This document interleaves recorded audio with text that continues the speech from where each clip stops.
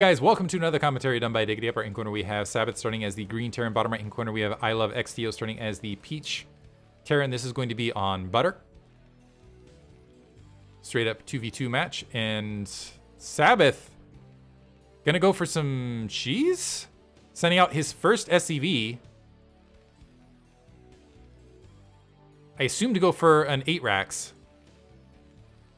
So wants to try to win this maybe not feeling up to taking on XTO uh, heads up, especially after, maybe potentially after game one, I'm not sure.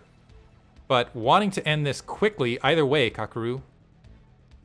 Always nice when they end up on screen. We'll see if this pays off. It's going to come down to whether this gets scouted or not. So Sabbath, hovering around that lower corner, SCV is able to sneak in the base undetected, and he's like, he almost looks like in that ninja mission, right? Going along that top edge. And on the seventh,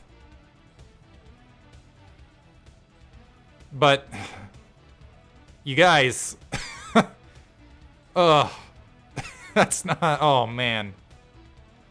That's to be GG right there.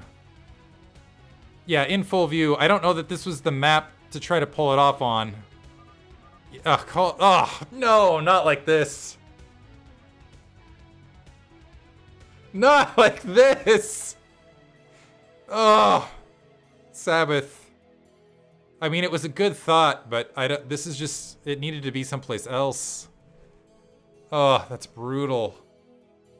I think that might be the shortest match I've ever commentated. GG. Uh, XTO advances to the round of four in a brutal fashion. That is... I'm going to take back what I think maybe this is the curse from game one where I'm like, I don't know about long game TVTs. Ugh. Alright. We will move on to the next set. Hope you guys enjoyed it regardless. Thanks for listening.